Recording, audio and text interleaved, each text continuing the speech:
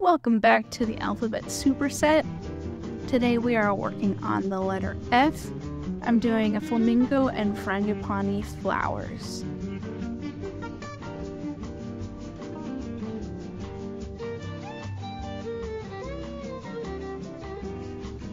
This painting, I wasn't insanely impressed with my final result.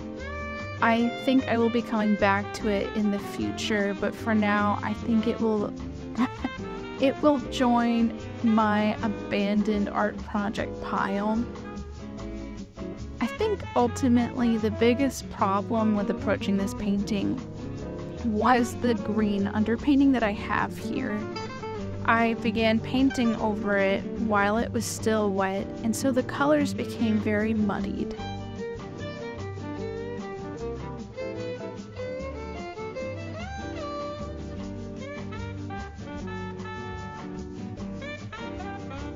Another problem I faced was due to my reference photos. The reference photos I used all had different lighting and angles of the bird. So there was no consistency or even a reference on how I should approach these colors. Most of my other pictures, I had decided to do rim lighting and backlighting to create a little bit more drama. I felt like I was overusing that lighting and wanted to try something a little different. Some of the references I was looking at had some beautiful backgrounds, but as I was playing around with the colors, I couldn't quite make it work. Ultimately, as you'll see towards the end of this video, I decided to add more contrast with a darker background, which complemented the pinks that I ended up using.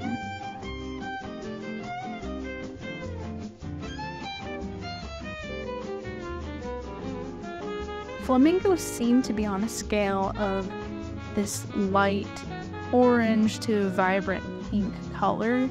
The reference photos were pretty dynamic on these colors. So again, I really struggled with figuring out what colors to use. I ended up playing around with three different reds, just trying to figure out what worked best for this picture.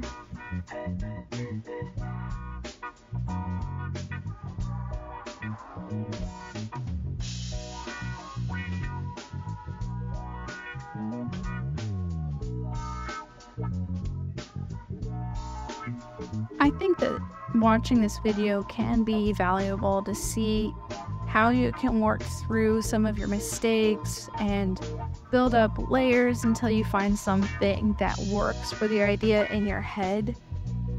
You can specifically see that in the flowers. They have this fun little swirly shape to them, kind of like a spiral but that shape is very different from the previous flowers I had chosen in this challenge. So figuring out how exactly I would approach those shapes was pretty frustrating. I think I'm pleased with how they ended up. I don't know if one could necessarily identify them. I personally have never seen these flowers in person, so off the top of my head, I wouldn't be able to name it.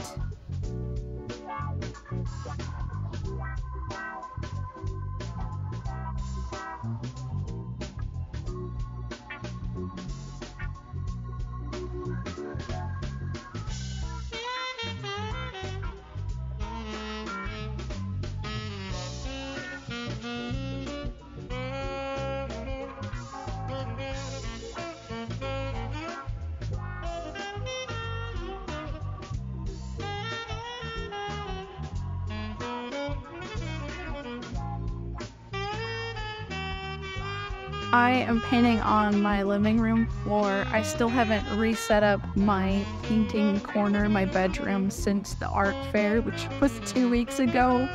I still need to grab some of the stuff from the trunk of my car, and I've just not felt like doing that.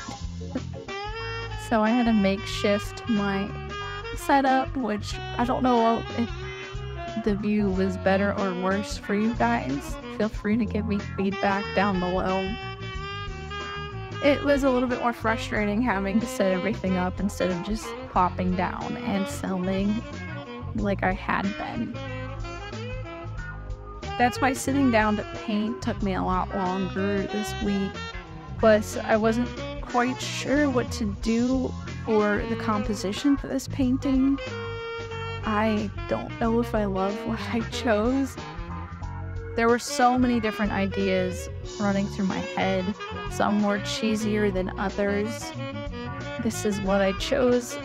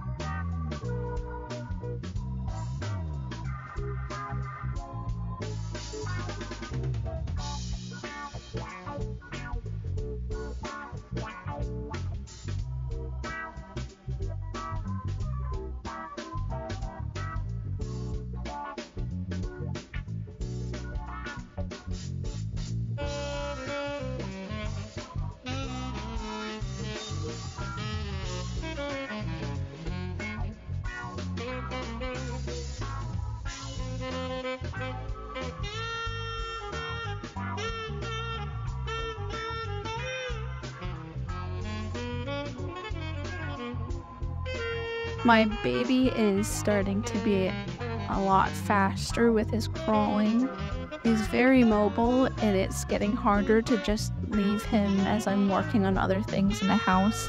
He's really wanting to interact with me more or get into things that could potentially be more dangerous. I love seeing him explore, and it's really interesting seeing how his behavioral patterns are changing. I'm putting him down for his naps, and he's rolling every which way, which means I need to move his crib to a safer height because he's going to be standing up in no time in there.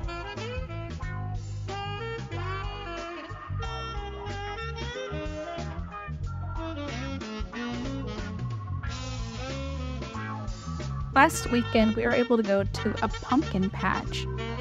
My baby got to go to a petting zoo and he saw a bunch of parakeets in an aviary.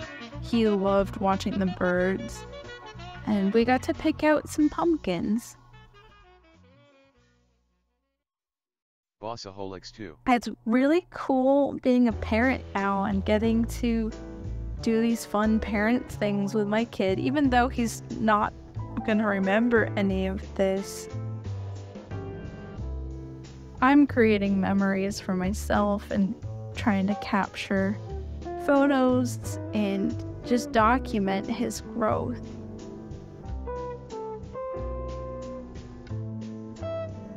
It was fun being with family and getting to have some fried dough.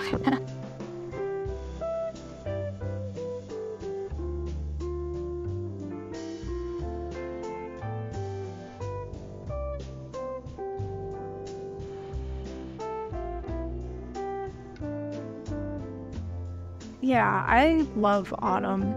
This is legit my favorite time of year.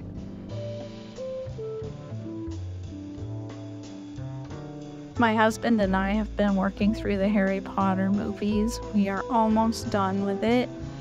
That's been really fun. It's a magical story. I've seen them before, but it's great rewatching them. I've tried making my version of butterbeer. It basically was a butterbeer float because I am obsessed with ice cream and it was delicious.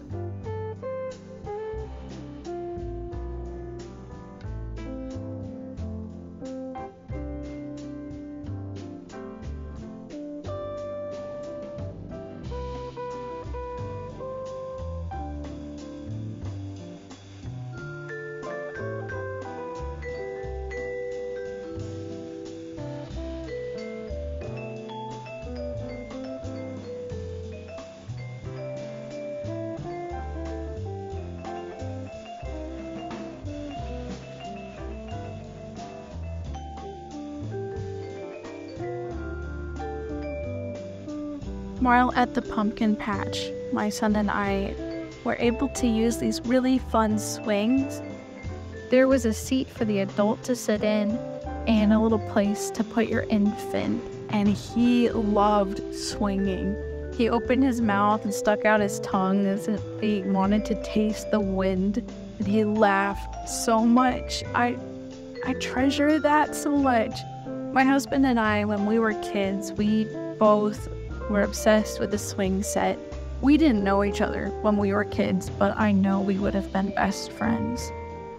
I I love swinging. I need to find a swing set like that in the area so that we can go back and keep playing in that way, especially just seeing his joy. I just want to keep reliving that. It's so wonderful.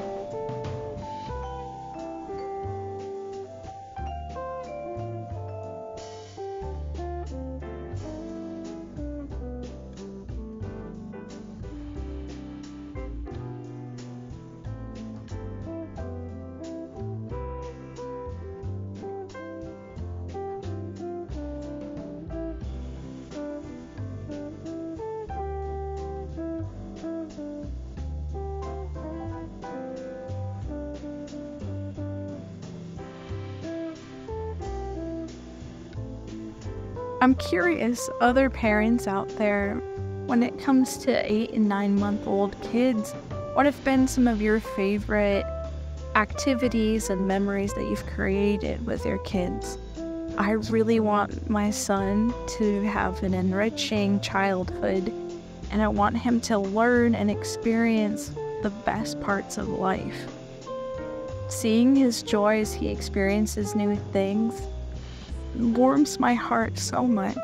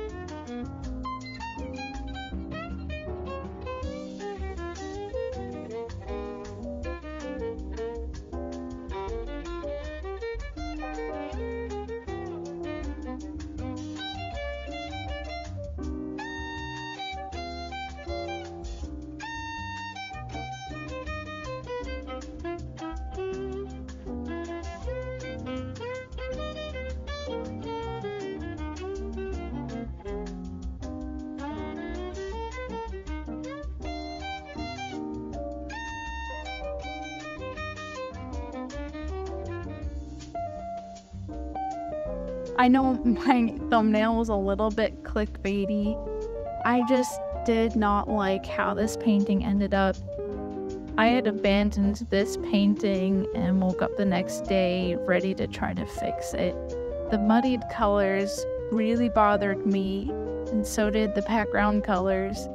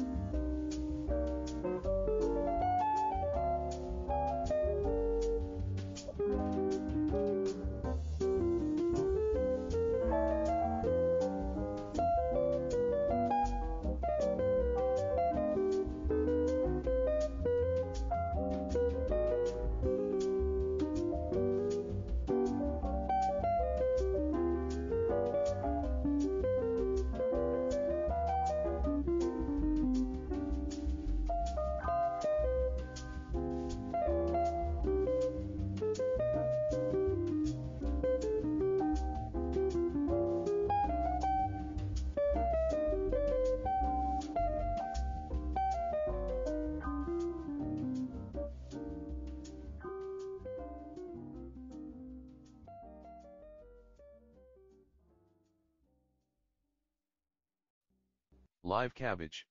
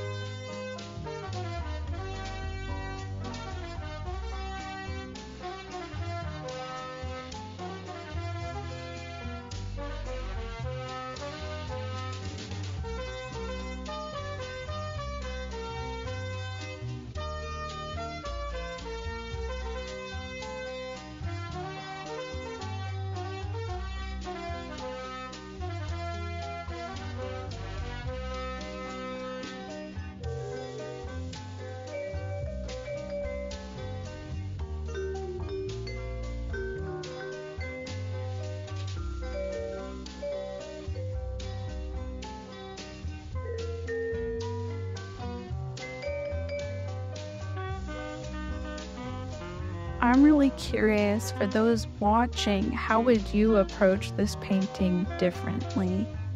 What is your feedback to me as you're watching this?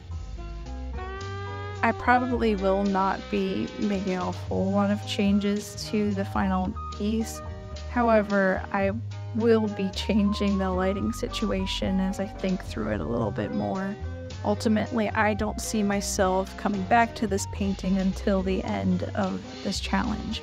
There are so many birds and flowers I need to paint, and I'm excited about some of the combinations I have planned out.